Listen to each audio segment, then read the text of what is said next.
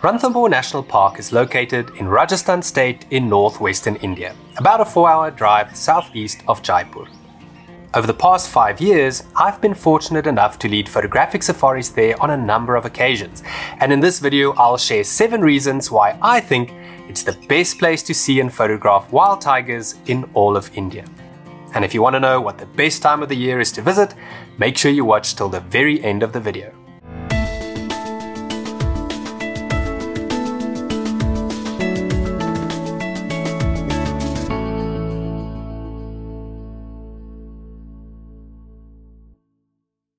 Number 1.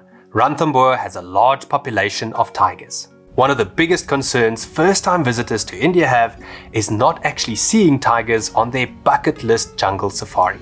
If you go for only one or two game drives and to the wrong park, you may very well leave disappointed.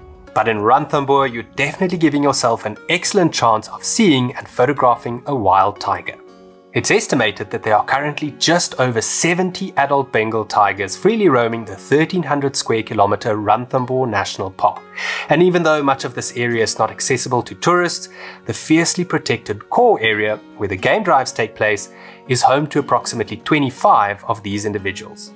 I've been lucky enough to see tigers on almost every drive I've done into the park, and I've seen up to nine different individuals on a five day tiger safari. The point is, you're not looking for only one or two individuals roaming over a massive area, but rather lots of different animals with fixed territories in areas that are easily accessed.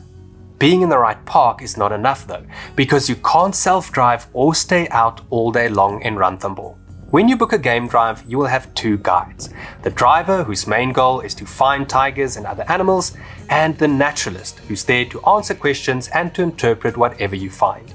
If you don't put in a special request, you may end up with poor guides. But at the same time, the combination of a good driver and naturalist can greatly improve not only your chances of finding tigers, but also your experience in the jungle. A good driver knows where to look for tigers, how to track them down, and how to park for photographers. A good naturalist can identify individual tigers by their stripes, as well as all the different bird species, making for a much richer safari experience. The best way to secure good guides is to book your safari through a reputable photographic safari company or to put in a special request when you make your booking. I'll discuss this in more detail under point number 6. Number 2. Many of Ranthambore's tigers are very relaxed. Tigers have a reputation of being shy, elusive creatures. So when I first visited Ranthambore, I was worried that we may only have a glimpse or two of these magnificent cats. But to my great surprise, most of the animals we saw were extremely relaxed. Just like in other parts of the world where animals get viewed a lot, the tigers of Ranthambore have become very used to the presence of humans, often walking right towards you and past your vehicle, making for excellent photographic opportunities.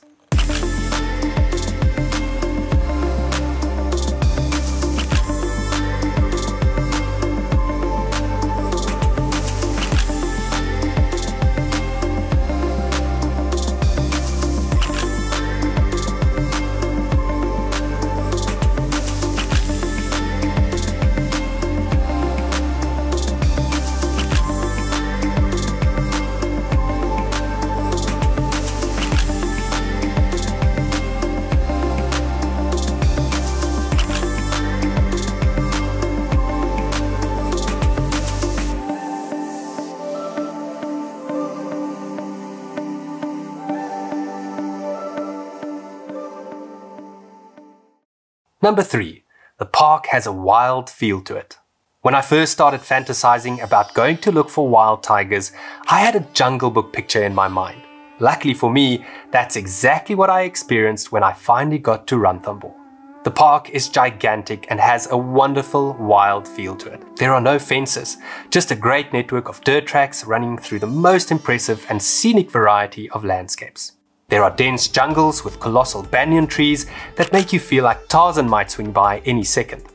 Some roads lead along stunning streams with crystal clear water or along the banks of magnificent lakes that attract loads of animals.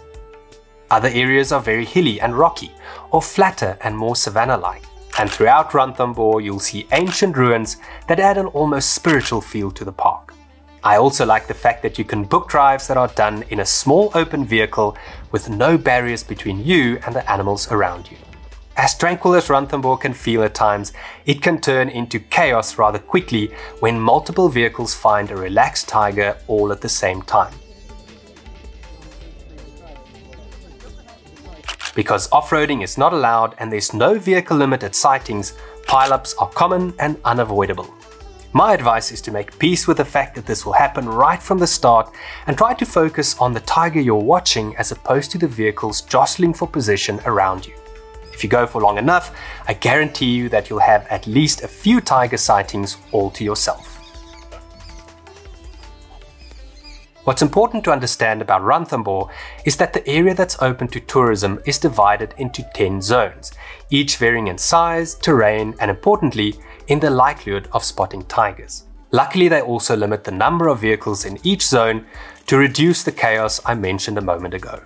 Unfortunately, you can't choose which zones you drive in. They are typically randomly assigned. All the more reason to do more game drives, so that you can see more of the park and increase your chances of seeing tigers. Just like you can put in requests for specific drivers, you can also request to drive in specific zones when you book your Tiger Safari. But not only will this come at an additional cost, but it can never be guaranteed 100%. If you do put in a request, ask to drive in zones 1 to 6, with at least one drive each in zone 3 and zone 4, which are the lake zones, and if you ask me, the most beautiful in the whole of Ranthambore.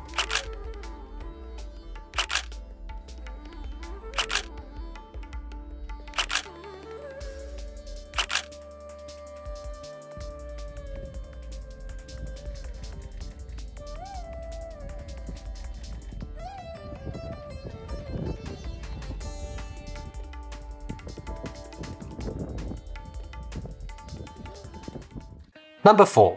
There are lots of other mammal species to see and photograph. Because Ranthambore's landscape is so diverse, it's home to much more than just tigers. You're virtually guaranteed to see common species like the chital deer with their beautiful white spots, sambar deer with their massive antlers and thick furry coats, and grey langurs, Ranthambore's resident monkeys, which you seem to find around every corner in the park.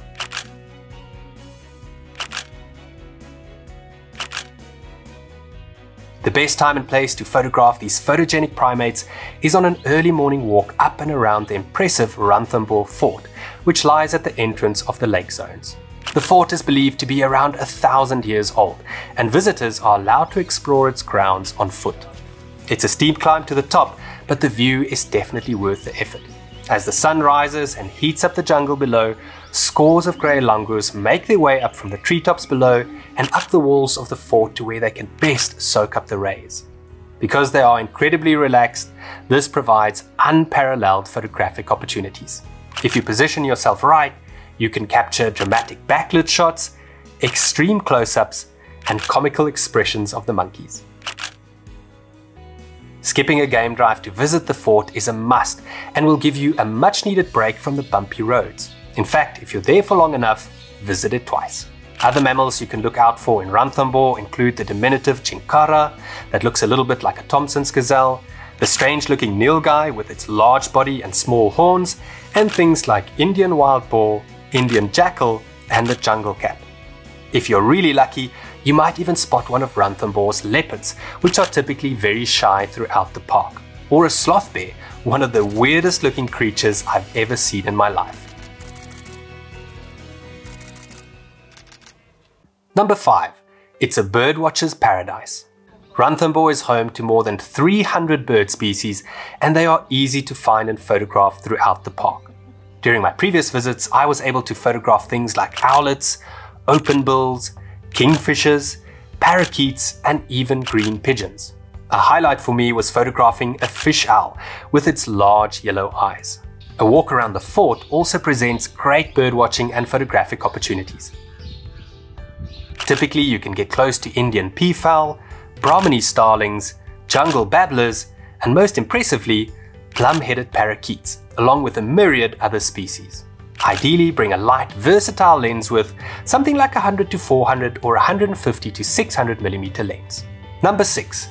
There's comfortable accommodation close to the park. You can't actually stay inside Ranthambore, and most of the accommodation options around the park is located in the bustling little town of Sawai Madhopur, leaving you with a traffic-filled drive to the entrance each morning and afternoon. If you'd like to stay much closer to the main entrance of Ranthambore, book a room at Dev Vilas. The hotel has 21 comfortable suites with ensuite bathrooms, as well as a restaurant that serves delicious home-cooked Indian food, along with a few Western options. It also has a large and refreshing swimming pool, as well as a small gift shop. It's the owner Balendu Singh's attention to detail, intimate knowledge of the park and larger-than-life personality that makes Dev Vilas such a wonderful base for a Ranthambore Tiger Safari.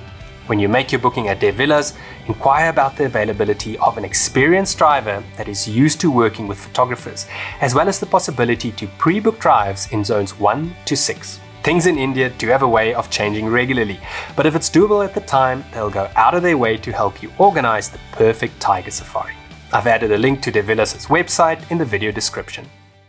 Number 7. Ranthambore is close to other amazing attractions.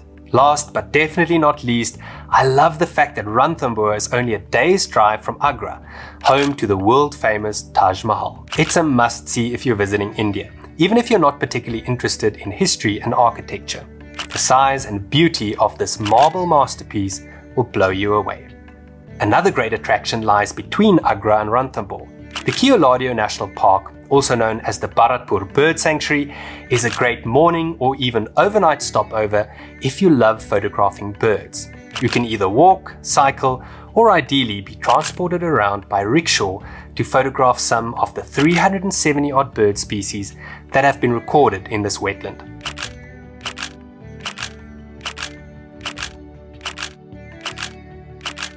I've photographed kingfishers, water hens, bulbuls, darters, ducks and even the rare Sarus crane here before.